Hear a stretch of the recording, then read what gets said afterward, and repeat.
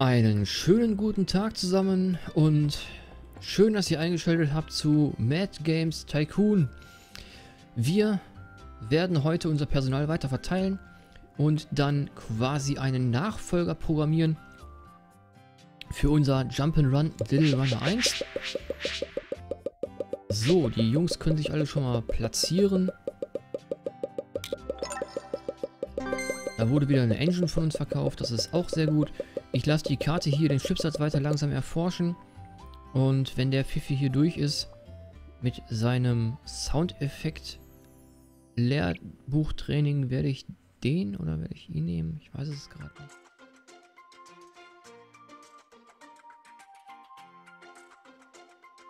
Eigentlich, komm, ich nehme den Donny. Der Donny kommt hier vorne mit rein und dann ist das Thema erledigt.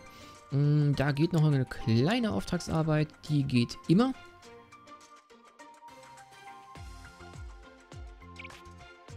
Ja, die da. Und dann ist er auch fertig. Äh, jetzt, verdammt. Ja, da habe ich, habe ich vielleicht gepennt. Hätte ich vielleicht drauf achten müssen. Dann hätten wir jetzt schon einen guten Hype gehabt. So haben wir... Scheiße. Hätte ich das eher gesehen, hätte ich jetzt schon nicht die, das Charakterdesign eingestuft, sondern dann hätte ich wirklich gesagt, dass wir schon mal den Auftrag einstellen fürs Programmieren des Spiels und dann hätte ich den Hype mitgenommen. Aber naja, Kannst halt nichts machen. Ist halt so. Müssen wir mitleben. Gut, der kann eigentlich noch nicht genügend programmieren, aber ich setze ihn jetzt hier mit rein. Das heißt, der Dave wird hier weiter lernen. Er lernt ja jetzt noch Grafik und wird danach noch in Programmierung einmal ein bisschen gepusht, so ein mittlerer Kurs. Und dann wird er hier quasi den Donny ablösen, der dann auch nochmal einen mittleren Kurs in Programmierung und einen kleinen in Grafik und Sound. Müssen wir mal gucken, kriegst.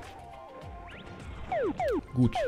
Hier oben ist Charakterdesign jetzt gleich fertig. Wenn ihr mal aufhören würdet zu zocken, dann könnte ich auch mal was machen. So, Nachfolger entwickeln. Ihr Lieben, wir werden jetzt einen Nachfolger entwickeln. Und zwar hiervon. Da ist noch ein kleiner Hype drauf. Da machen wir mal Little Runner 2 draus. Ähm, ich habe es damals entwickelt für Teenager. Mit Ninjas und Fantasy. Jump'n'Run Geschicklichkeit für die... Wo ist die Engine? Da ist die Engine, Jump'n'Run Engine. Und ich wähle hier eine Lizenz. Ich wähle hier die... Komm, wir nehmen die Lizenz. Dann sind die weg. Oder? Ich gucke mal ganz kurz nach. Lizenzen erwerben.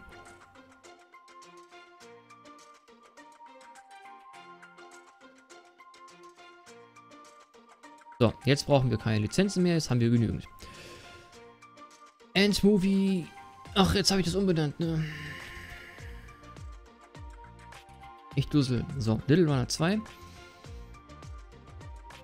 Ich würde allerdings liebend gerne ein anderes Genre wählen. Aus welchen Gründen auch immer ich das möchte, weiß ich noch nicht. Ähm, wir gucken mal. Wir gucken mal, was wir haben. Es muss ja nicht bei Ninjas bleiben, oder? Oder lassen wir es bei Ninjas und Fantasie. Ja, wir lassen das bei Ninjas und Fantasie. Das passt. So. PC und Mac. Wie viel Marktanteil hat der Mac eigentlich? Fällt mir gerade mal auf. Achso, kann ich nicht. Und ich kann DevKit erwerben. So. Die PlayStation 4 könnte man sich einverleiben. Die kam raus 2013. Jetzt haben wir 2018. Ich glaube nicht. Hier 15er. Die Beam Machine.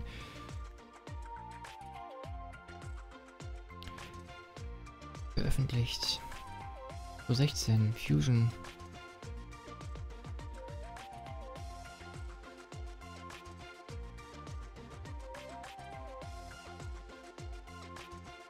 So, die gängigen, die bleiben, ne? Würde ich persönlich sagen. Ich glaube nicht, dass hier noch eine Game Station 5 rauskommt. Glaube ich einfach nicht.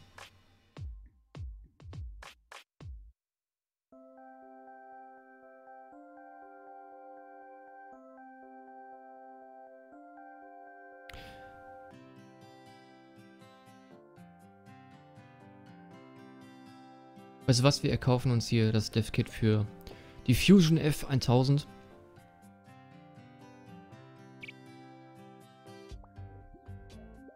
Und nehmen sie auch. So, dann haben wir vielleicht eine neue Konsole. Weiß ich nicht. Wird sich zeigen. Mal gucken, ob sich rentiert. So, das ist der aktuelle Kopierschutz. Ich würde aber ganz gerne gucken, ob wir noch eine werben können. Ja. Alles klar. Das ist der aktuellste Kopierschutz. Ich glaube auch nicht, dass sich dieser Kopierschutz noch abnutzen wird. Das passt. So, wir brauchen einmal Little Runner Konzept, bitte. Einstellung kopieren. Gucken. Das hat er als beibehalten. Das passt soweit. Ich gucke lieber nochmal nach. Ihr kennt das ja, ne? Man weiß nie. Am Ende hat das dann doch irgendwie gemacht und... So. Also wie gesagt, hier für Jump'n'Run einfach alles mittig haben. Einmal mehr Atmosphäre, einmal mehr einsteigerfreundlich und schon hat man ein Jump'n'Run. Es ist so furz einfach einzustellen. Äh, es kann eigentlich jeder behalten, weil die stehen standardgemäß immer auf der Mitte. Das sollte laufen. Und hier alles auf 25% lassen. Das... Also für einen Jump'n'Run brauchst du echt keine große Mühe. So, ihr Lieben, wir werden alles mit reinnehmen. 34 von 35 Features haben wir drin. Aha. Nicht abgelöst. Sehr gut. Sehr gut. Vielleicht kommt da noch eine, ein Feature. Vielleicht, wir werden sehen. Und dann dürfte ich vielleicht auch eine perfekte Engine haben. Müssen wir mal gucken. So, und zwar nix Bugs, schon wieder denselben Fehler wie beim letzten Mal. Gameplay verbessern, einmal bitte alles. Grafik verbessern, einmal bitte alles. Sound verbessern, einmal bitte alles. Und Animation verbessern, einmal bitte alles. Hm.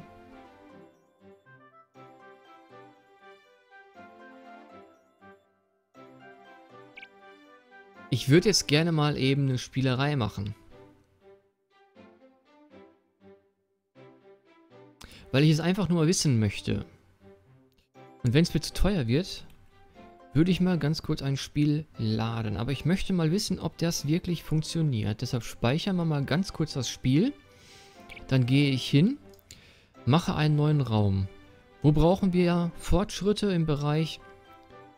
Machen wir Sound oder machen wir wir machen nochmal ein Soundstudio. So, ich setze hier einfach mal ein Soundstudio hin. So, das geht ja noch vom Preislichen her. Sounds verbessern. Wird bereits ausgeführt. Macht er also nicht. Das geht also nicht in der Hinsicht.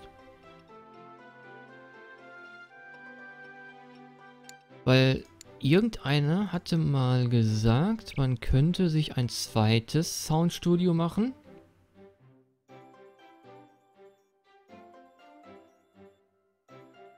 und könnte dann da doppelt aufwerten. So, das waren jetzt keine großen Kosten, dafür lade ich nicht extra. Ähm, das bleibt es so. Aber es geht ja anscheinend nicht. Also man kann sich kein zweites Soundstudio hinstellen. Weil, ähm, oder sagen wir mal so, ich wüsste jetzt zumindest nicht, wie ich es doppelt aufwerten soll, weil ich müsste es ja hier einstellen, muss hier aktivieren und muss da einstellen, da aktivieren. Und ich habe den Sound jetzt, äh, Sound ich schon, den, ähm, na, wie heißt es denn? Den, den, das Spiel jetzt nicht weiterlaufen lassen in der Zeit. Also hatte auch keine, hat er nichts getriggert, dass der da schon angefangen hat. Also müsste es eigentlich, aber es ist wohl rausgepatcht worden. Das ist sehr gut, finde ich persönlich. Weil ähm, das, man muss es nicht haben, dass man über so kleine Wege sich dann hier zum Beispiel den Sound auf 30.000 hochschraubt und dann... Ja, das braucht man nicht. Das braucht man nicht. So, ich mache jetzt schon eine Marketingkampagne und zwar einmal eine Radiokampagne, dass der Hype hier wieder über 50 geht und dann lasse ich ihn was aber erst wieder bei... Ach komm, ich spreche heute nicht mehr. Dann lassen wir es wieder gut sein. So. Gut, dann fangen wir mal an zu programmieren. Ich bin gespannt. Guck mal, und die Fans sind immer noch glücklich, obwohl ich da schon einen rausgezogen habe zum Programmieren.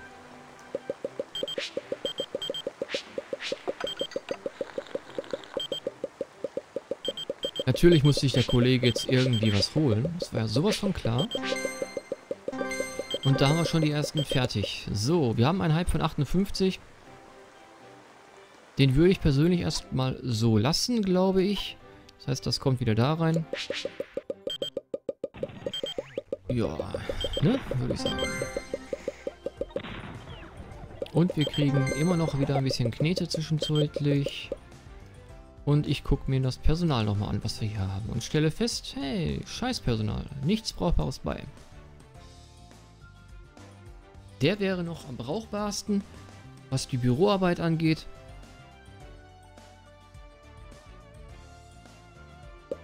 Aber ich glaube, ich habe hier eh keinen Platz mehr. Nein, da kann ich nichts mehr reinsetzen. Dann hat sich das Thema auch erledigt.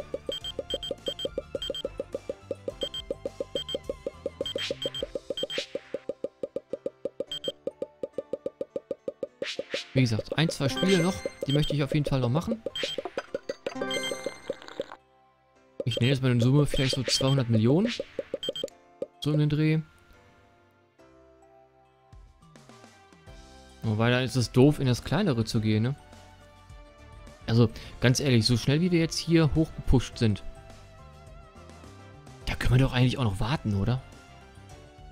Guck mal, wir haben jetzt ein Drittel. Wir haben jetzt ein Drittel.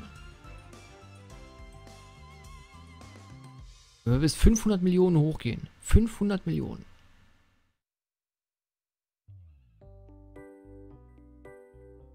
Das dürfte nicht lange dauern. Wenn wir ein paar gute Spiele machen, ein paar gute Nachfolger machen, dann müsste das gehen. Wenn die sich gut verkaufen, dann gehen wir bis 500 Millionen hoch.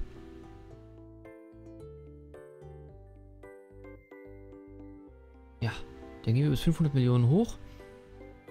Und dann ziehen wir direkt in das gigantische Bürogebäude. Da muss ich aber gucken, dass ich halt die Aufträge immer laufen habe.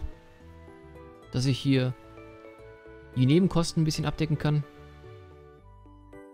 Und dann bauen wir uns da drin auf. Dann brauche ich nicht den Umzug in das riesige Bürogebäude machen. Weil guck mal, wir haben jetzt schon 163 Millionen. Vorher würde ich noch mehr hier in das gigantische Bürogebäude A ziehen. Dann haben wir nochmal das Vierfache von dem, was wir jetzt haben. Also ich denke mal hier, man erkennt es eindeutig an der Form. Die haben hier zwei riesige Bürogebäude genommen und nebeneinander gesetzt. So. Alte Bürogebäude. Ja. Komm, das, das... Wir gucken uns an, wie die Spiele werden, die Nachfolgespiele werden und dann... Dann entscheiden wir uns nochmal. Kann man immer noch kurzfristig machen mit dem Umzug. Weil, ähm, 123 Millionen habe ich jetzt. Ich meine, ich werde noch ein paar Aufträge zwischenzeitlich abarbeiten. Da wird es auch wieder Geld geben und... Ja, toll. Gerade Technik, weißt du? Technik ist immer sowieso eng. Videogame Boom. Die Computerbranche muss... In den nächsten Monaten werden sich alle Spiele deutlich besser verkaufen. Ja, schön, dass das jetzt kommt. Die Säcke. Ich brauche noch mindestens Monate, bis das Ding fertig ist.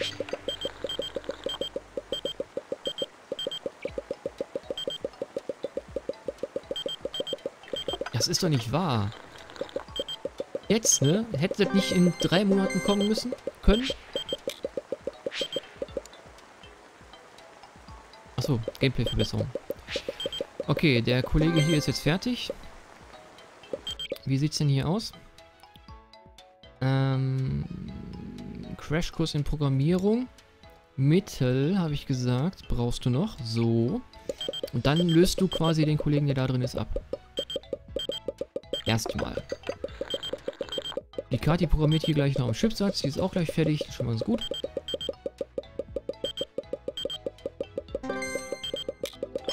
So, das war der Chipsatz.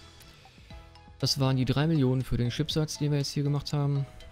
Keine neue Forschung. Konsolenforschung immer noch 17. 12 Millionen. 13,5 Millionen. 10 Millionen. Hier fehlt noch eine, glaube ich. Bin mir gerade nicht sicher. Nummer 10 Millionen.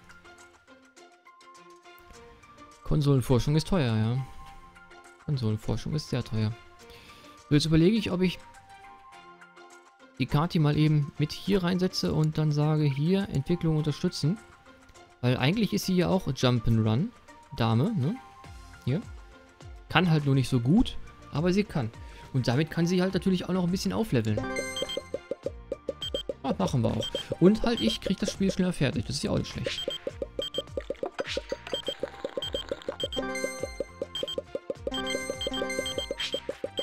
Ja.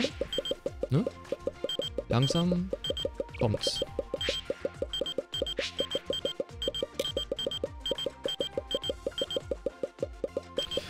Gespannt, was das jetzt wird. Ey. Ich hoffe hier insgeheim immer noch auf so ein 100% Spiel, dass ich den mal irgendwie per Zufall trigger. Und ähm, ich glaube aber nicht. Also ich glaube ganz ehrlich, so ein 100% Spiel, da musst du schon alle Features drin haben, die reingehören und die, nicht reinpassen, musst du raushaben. Das, anders kann ich mir nicht vorstellen. Wobei, wenn du, wenn du Features rausnimmst, ne, dann ist ja auch wieder weniger an Werten hier. Also ich glaube schon, dass du alle drin haben musst, die du machen kannst. Geheime? Was macht der denn hier?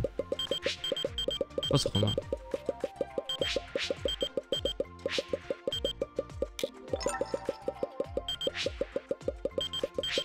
Neue Forschung.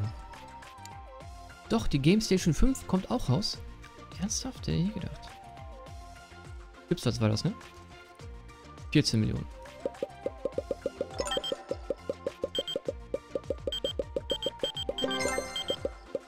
Jump'n'Run Engine wurde wieder lizenziert, sehr gut.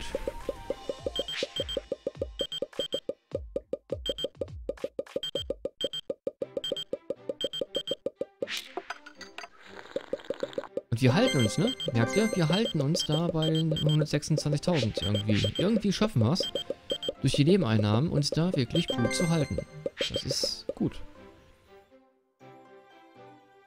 Okay, jetzt bist du in der Programmierung besser als er hier. Das heißt, du, mein Lieber, kommst da raus. Schmeiß mal die da rein. Und du kommst dahin.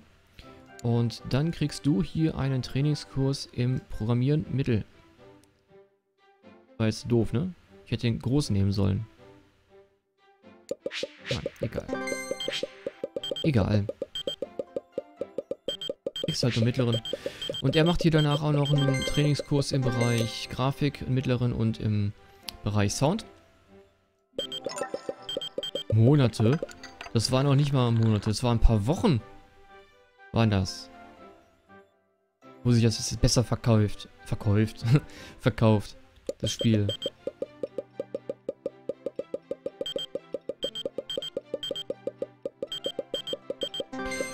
Gut, im Motion Capturing sind wir im Bereich, ähm, im letzten Bereich. Wir kriegen jetzt 80, 82.000 Fans. Sag ich. Aha, fast. Ne? Gut geschätzt, oder? Ja. Knapp 82.000 Fans dazu.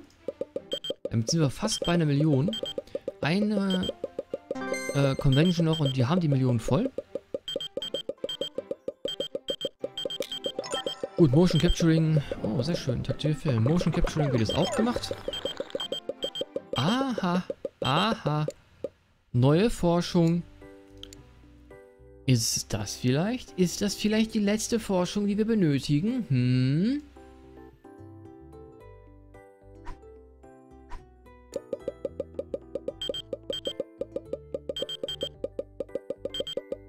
Also ich wollte das hier unten nicht abbrechen, ne? Logischerweise. Ich werde die Karte gleich wieder runtersetzen, wenn sie mit ihr Zeug da drin ist, beziehungsweise wenn hier irgendwas fertig ist, werde ich das darüber setzen. Da müssen wir nicht drüber reden.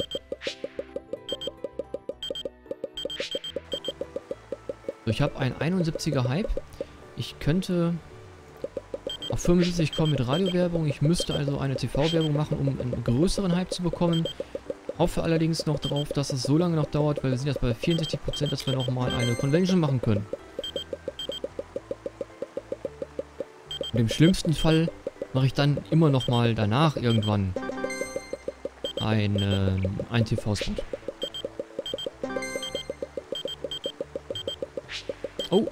Sind wir fertig? Jo. Gameplay ist verbessert. Habe ich gar nicht mitgekriegt, dass es fertig war. Dann entfernen wir hier die Bugs. 2200 Bugs haben wir schon drin.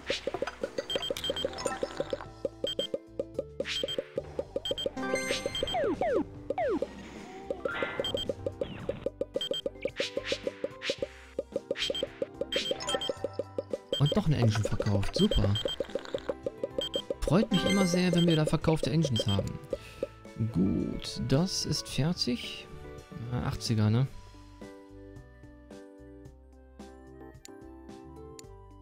Grafik oder Musik? Was war das jetzt? Grafik war das. So, den kriegst du auch noch.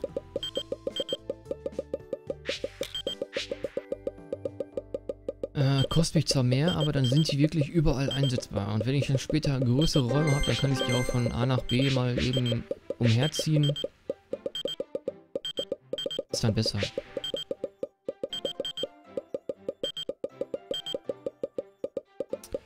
...69er Hype habe ich noch. Ich glaube, ich muss eine TV-Kampagne gleich starten.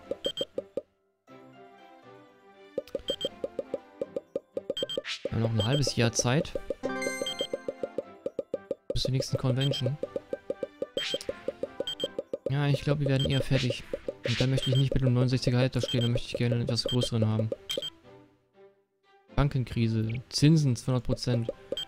Wie gut, dass wir keine Zinsen mehr aufnehmen müssen. Ich mal kurz interessieren. 20 Millionen können wir aufnehmen an Krediten. 20 Millionen.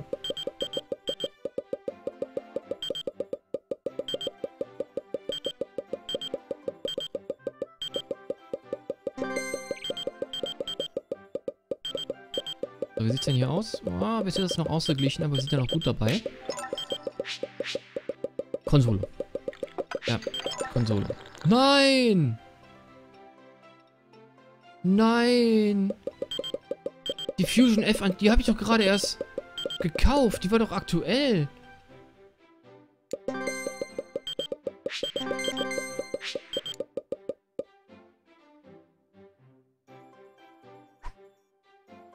Ihr seht mich gerade nicht begeistert.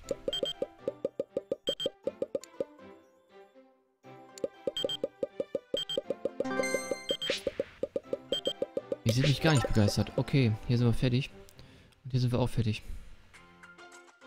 Liebe Kati, ich bedanke mich dabei. Personal.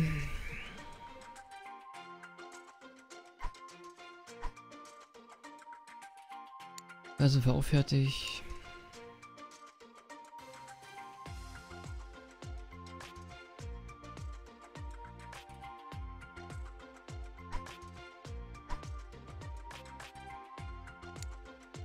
Ich bin gerade mal ein bisschen stiller. Ich überlege gerade, was ich mache. Ob das so sinnvoll ist, was ich hier tue.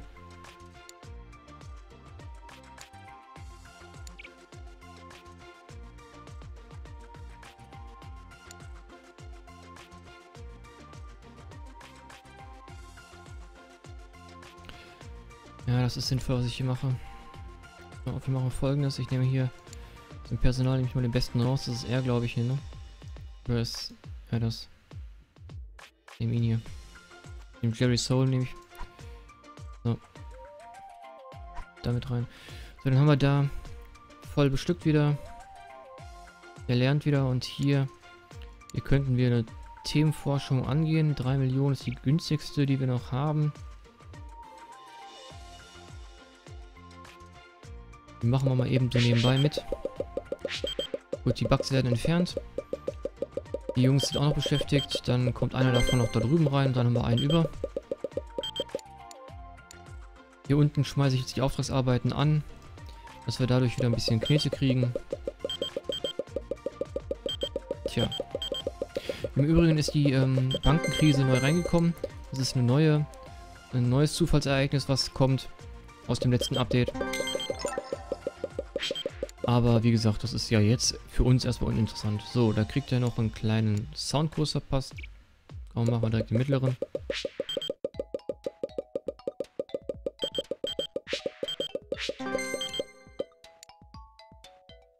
So, Auftragsarbeiten.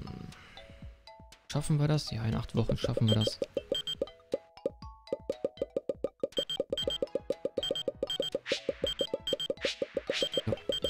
So, ihr Lieben, aber ich sehe schon wieder, wisst ihr, wenn man so programmiert und da zwei oder drei äh, Sachen so zwischendurch macht und dann hier noch da und hier und dort noch, dann ist die Zeit so schnell um. Ich bin jetzt schon wieder bei 25 Minuten. Mann, ey, das gibt's doch nicht. Ja, ich verabschiede mich für heute wieder. Wir sehen uns dann morgen wieder. Wenn es euch gefallen hat, schaltet dann morgen wieder ein. Und äh, Kommentare sind gern gesehen. Wir sind gespannt, sage ich immer mal so, wie das Spiel sich entwickelt. Und ähm, das werden wir, denke ich mal, morgen sehen, wenn es fertiggestellt wird. Drückt mir heute schon die Daumen, dass es vielleicht ein 100% Spiel wird. Ich hoffe es, aber ich bezweifle es. Aber vielleicht haben wir das Glück. Also, macht's gut. Bis morgen dann. Haut rein und tschüss.